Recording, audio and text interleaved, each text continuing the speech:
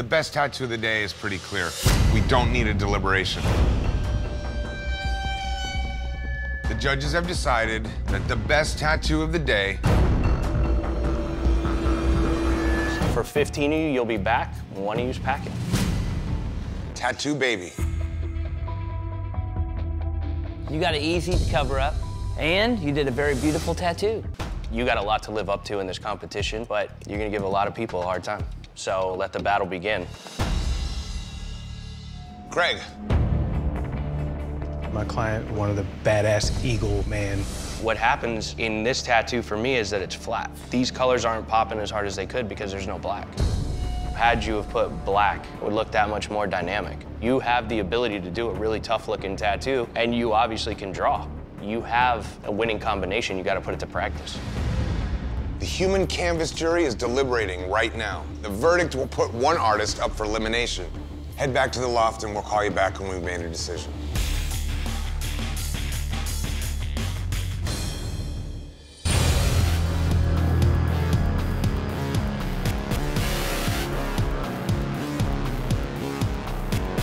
Today, we tested your flexibility by asking you to cover up prison tattoos. One of you made a solid first impression. The judges have decided that the best tattoo of the day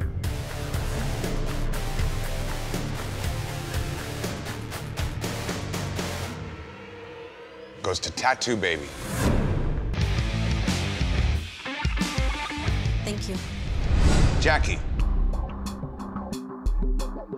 How much research did you do on the spine? I stayed up for hours trying to research each section. You took your time to put the details in each bone. You made it look like bone. It doesn't come off as rocks. More than anything, you really surprised me, and it's a great surprise. Jackie, well done. Thank you Thank very you guys, I much. appreciate it. Craig, The little details you put in here, the precise, fine lines you put in, the strands of those muscles, and the way you followed it with the shading, it's really nice. This is what you guys are competing against. And this is what we compare all of your muscle tissue to. At the end of the day, this is what you're fighting, not me.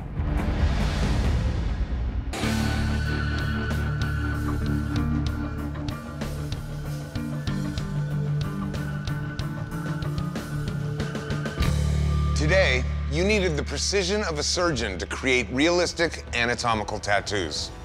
The judges have decided that the best tattoo of the day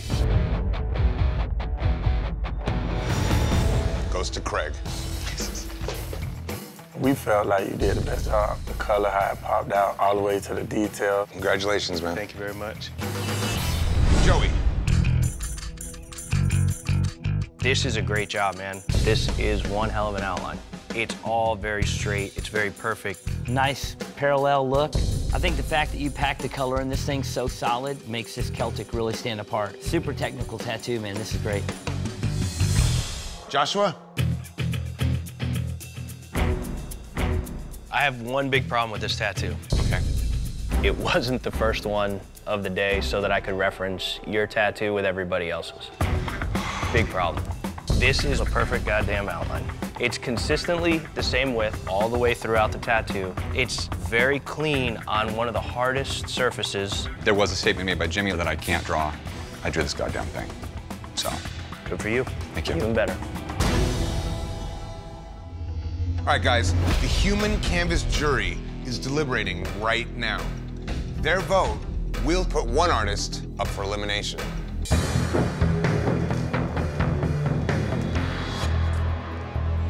Was that? You brought my name into your critique. Dude, you just look like a chump. what's your deal, Jimmy? I can't have a good moment. You know, I kicked ass on the tattoo. You drew a starfish. Awesome. You think someone should pat you on the back for a simple drawing that took six hours? I'm tired of Josh getting this far in the competition by half-assing everything, and I'm tired of just listening to his bull. Craig, who did the elephant. I thought his composition was outstanding. It's a really graphic, dynamic design. However, in my opinion, Joshua gets the nod for doing the ribs as clean as he did it.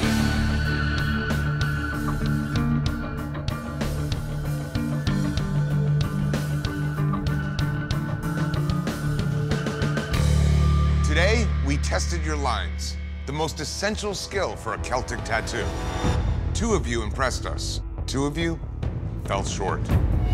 Joshua, Joey, your tattoos were the two best of the day. The judges have decided that the best tattoo of the day goes to Joshua. Congratulations, Josh. You gave the challenge exactly what it was that we were looking for. A straight, clean, one-pass outline, you nailed it. Good job, man. Thank you. Jimmy. My favorite part of the tattoo is the little sugar skull on the shoulder. That is awesome. It's those little areas of greatness that give us the full confidence to go, this guy knows his Appreciate you guys' time. Tatu baby. Honestly, I don't think it, it looks like you. I think because of that realistic skull they try to give it, it changed the features of your face. The artwork just doesn't read well because the actual tattooing is very nice. I thought you were going to run away with this one. This was yours for the taking. Chris, do you have a favorite of the day? Jimmy's tattoo. For fundamentals of black and gray and for strong shading, this is the best we saw today.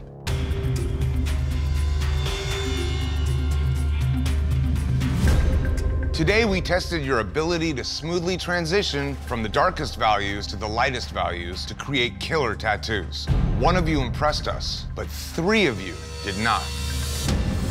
The judges have decided that the best tattoo of the day goes to Jimmy. Congratulations, man. You came out and you showed how versatile you are. Really nice job. Thank you. Joey. The darkness and the richness in this really gives you the sense of dimension. Great job, man. It's good to see somebody shine. Kyle. With this tattoo, as you move up in the levels of the Coliseum, I just see you wear out. My inability to work with my customers seems to be something I struggle with. I'm gonna figure out what Josh has. His ability to work with his canvas is amazing. You got dealt a tough card, but to be in the competition, gotta clean it up. Tatu baby. I do like the shape of this tattoo, like the way it fits the side of the leg. I like the flag, the color works awesome, but you lose it in the faces. On one side of Lincoln's face, it would be darker, and you have white on both eyelids. That makes it unrealistic. That rich black silhouette of Lincoln's face carrying over to the other face is exactly what you need in this. It would have made the color pop. It would have made everything look so much better. You invented a half a portrait for nothing. You screwed yourself on this one.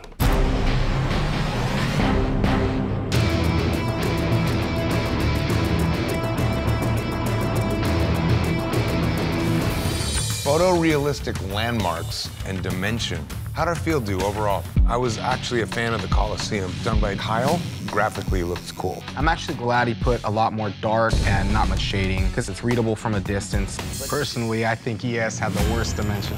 I just, I hate it.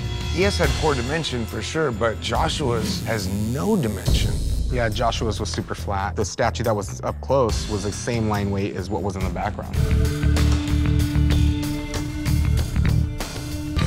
Today, we tested your ability to use dimension to tattoo a familiar landmark. One of you impressed us. The judges have decided that the best tattoo of the day goes to Joey. It's a beautiful tattoo. You really created a lot of depth and dimension with it. Congrats. Thank you. Joey, let's start with you. I like the tattoo. I'm attracted to her. You know, she's beautiful. This is kind of what we mean when we're looking for pinup, exaggerated proportion. You took a lot of liberties with making this girl look extra sexy. Her thin waist, her nice butt, long legs, really great. I think you did a really good job. Thank you. Jimmy. You know, overall, I think you did a great job. She's cute. The outfit, the detail in the shirt is awesome with the wrinkles. This position, very, very hard to pull off. It's easy to make a girl look believable and cute when you show every shape of the body and the shoulders and everything, but the fact that she has no neck, the fact that her hands actually cross the barrier of being in front of her face, proportionally, it's totally believable. You really did a good job on this. Today, we tested your ability to use proportion to make pinup tattoos insanely hot. One of you wowed us, but three of you were less than perfect. The judges have decided that the best tattoo of the day goes to Jimmy. The different tricks that you pulled off are what we're looking for when we're looking for somebody to hold the title of Ink Master. Thank you. Joey. Your attention to detail, wow factor for me. Along the legs, along the sides, to see you ink on your canvas with the scissor hatching, the style that I'm familiar with from comic books, I was pretty impressed because it's hard enough to do it on paper and you're pulling it off on skin. I didn't really know until I started how much time that was gonna take. Yeah. So I was like second guessing myself at some points. Tatu baby. How you feeling this week as opposed to last week? I guess I feel a little bit better because I let it out. Well, what you did here, I love. I think you came back really strong. There's some incredible detail, especially in the hair. Those teeth are really, really beautiful. The question I have for you, why does it just end the way it does like that? I had a little bit of issues with time doing all those little lines. If I would have gone any lower, then it would have brought down the quality. Great job, though, overall. The texture in the jacket and the small little fine details with the very fine lines that you used look great. How did it feel do overall? I love Joey's work. Catwoman just came out spectacular. The playfulness, the danger, the pose, he captures everything. Just the black that he had in it with his line work makes it a real bang-up tattoo. And Joshua, who did Bane, that's a clear winner. It really captures that ferocity we expect to see in Bane. Today, we asked you to show consistency by tattooing a supervillain. One of your supervillains was badass, but three were mediocre. The judges have decided that the best tattoo of the day goes to Joey. Joey, you captured the essence, the playfulness, the danger of Catwoman. It looks like it was peeled from the pages of the comics and pasted on flesh. I love everything about it. Thank you very much. Tatu Baby. Portraits is something that I do a lot at home. I've had chances where I've shown stuff that I like to do and I haven't like nailed it. So I really wanted to redeem myself. As far as the accuracy on the tattoo, it totally looks like the guy. The only criticism I have is the right eye. Little bit darker in the photo, but you put that highlight in there, and that's your own artistic license that makes the tattoo even look better. Just those little things that you can do as a tattooist to add to something that's a photo, it makes it more dynamic. In the collar of the shirt itself, the whole real photo is dark, and you put the little highlights in to really capture the essence. The extra added touches that you gave to this tattoo really brought your tattoo to life, and this is the reason that it was hard to see you go, oh, well, I want to get out of here. This is what people are going to remember. If you go out on your shield, at least you went out like this. All right. Thank you. Joshua. Were there any challenges with this canvas? She has all those wrinkles. For me, it was how do I show the main ones without throwing a spider web across her face? I really like this tattoo. She's got a great character. You took liberties to smooth things out, but you still captured her essence. All right, guys, the best tattoo of the day is pretty clear. We don't need a deliberation. The judges have decided that the best tattoo of the day goes to Tatu Baby. Today you came back and you did a great job. You stood up for what you know how to do and what we believe that you can do. You did a great job. Very happy for you. Jimmy, let's start with you. How was this for you, tattooing the head? Uh, it was awesome until he came back and he had about a one inch scar just right from where the eagle's head starts all the way back wrapping around. Tucking it under the ear, you shorted yourself on the composition. I'd like to see the other claw. If you could have fit that other claw in, it would have just made it so much more dynamic. Joey. I like the placement and the curvature of the gecko goes with the shape of her head. I think that's really good design. I don't feel like these guys. I'm the odd man out. I don't like the way that you have the outline on this tattoo. And I don't I was using different was- line weights also. I mean, I know it's it's it was definitely. but that foot, look how many different size lines are on that foot, and the ball's on the outline of the weird toe that comes out the back. you talking about the shadow, or are you saying it comes to a ball? Oh no, Like, I'm talking about, look at that back weird toe, look Yeah, at that point on the top of that back weird toe, it's just a dot. I've seen you do some amazing outlines throughout this competition. This, to me, in my opinion, is not one of them.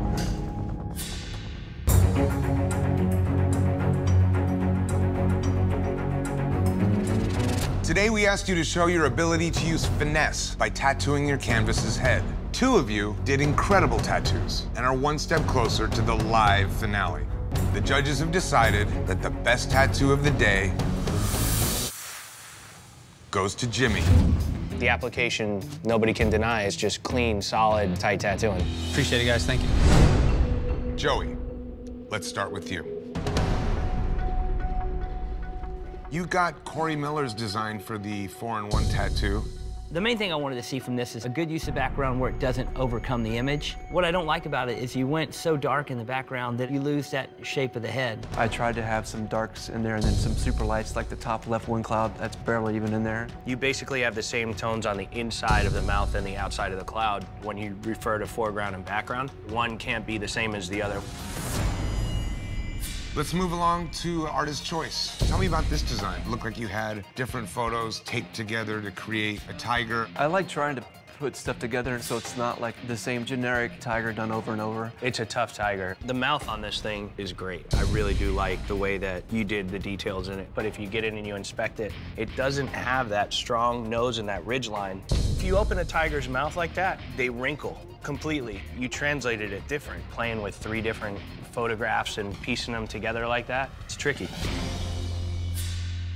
Jimmy. The main thing that I wanted to see from you in this challenge is something different.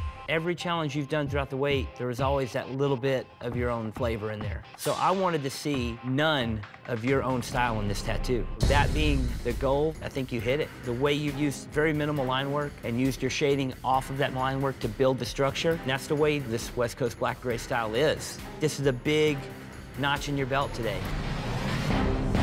Let's move along to your artist choice canvas. This is beautiful. She's adorable. Without that Chewy tattoo, you might have been still stuck in that pigeonhole. In the end, you did something that's 100% you. It was more of a safer route. I felt comfortable with it. This is the tattoo that's supposed to take us to $100,000. Overall, you as a competitor, you came and you competed and you delivered exactly what you had to deliver to make sure that they have to fight to stay. Thanks, guys.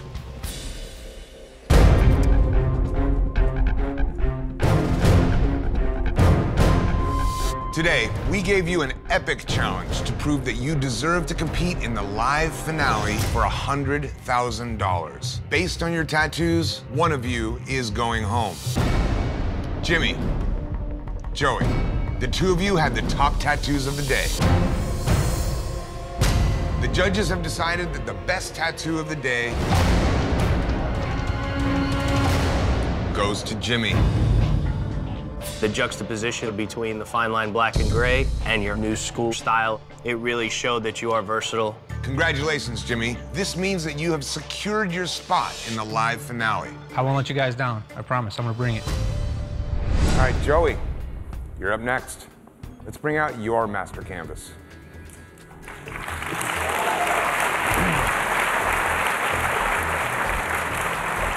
Chris Nunez. Joey, looking at this tattoo, man, you put a lot of time and effort into doing this. And the one thing that we're missing in this is we're missing that rich contrast, which you do see in Tatu Baby's tattoo because of the use of black.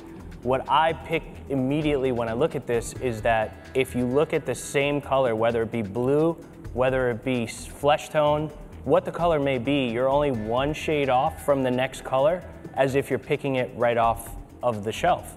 You know, you have to make things pop and you have to be able and willing to go ahead and commit to the palette that you're picking and go ahead and use that black, man. In my defense, though, in a, lot of the underwater scenes that I did research, that that background is just one shade off in the background. And I understand what you're saying. Like as a tattoo, yes, it probably did, needed more contrast. And I did try and go back in and add some black just to add the depth so it looked like it was she was close and it was farther away. Um, I guess I just didn't what we're enough. looking for in this, and you know well enough from being here for this many weeks and from standing in the shoes you're standing in, is something that's gonna pop. You know, this tattoo is a beautiful tattoo. It just lacks a certain amount of pop. All right, Chris, thank you very much.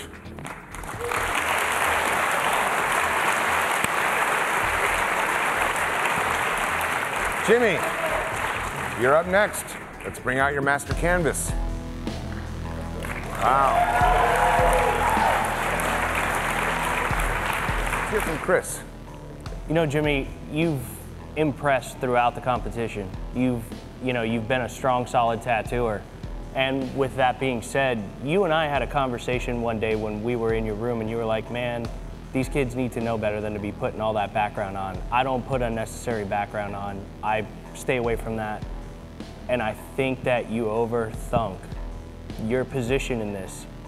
The background that you did in here probably was unnecessary, and your standing of just doing three solid images and doing it your style after 20 plus years of tattooing in the style that everybody's known to grow and love, you didn't do. You abandoned your style in this particular piece, in a sense. And I feel like the center skull doesn't look like you did it. It doesn't look like a Jimmy Litwak skull. Well, I wanted to come show you versatility. I didn't want to come out like my style is what got me standing here in this position. 100. I wanted to show my versatility to show you that I could hold that title. I think that Jimmy tried to play to every sense instead of staying in Jimmy's head and doing Jimmy. And you did do Jimmy the entire competition. But on this particular piece, this doesn't look like Jimmy was comfortable. Congratulations to all three of you. You've all created incredible work, but only one of you will walk away with the title of Ink Master. Jimmy, all through this competition, man, you've excelled. You've been, you know, both of you guys, you've led the pack, and with good reason. You know, you're a well known name in this business. You're a guy that anybody who owns a shop or anybody that aspires to be a better tattooer would be happy to work, be working around. You know, it's a, it's a great thing to see somebody great end up at the top. And against this field, you ended up exactly where you're supposed to. You know, as far as this tattoo, it, it was the, it was the tattoo I needed you to just send home. You know what I mean? I needed you to bang it. I'm happy. I'm happy, happy, happy that a real tattooer is standing up here and that you've left your mark forever on the industry. Your fans will always be happy for what you did. Thanks, Chris. Well, let me open by saying this, Joey, you've never, ever been at the bottom. You've won twice, but you've never been at the bottom. Jimmy, up four times, down twice. It's a 50-50 flip of the coin. It's amazing. Yeah, three. Best tattoo on Asian Day, too. There was no winner. I, I know, but who had the best tattoo? No winner. So here we go. I think that you have shown a great, you've had a great outing, man. You know, you've done a lot of the different things that people are looking for. And I, you know, I'm happy for you. All right, thanks, Chris. On the line, $100,000, a feature in Inked magazine, and the title of Ink Master. Jimmy? Joey? Joey, you do have what it takes to be. Congratulations, man.